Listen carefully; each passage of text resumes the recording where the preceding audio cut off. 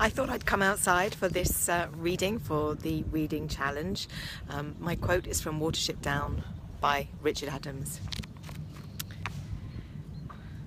My heart has joined the thousand, for my friend stopped running today. Every time I read it, I cry.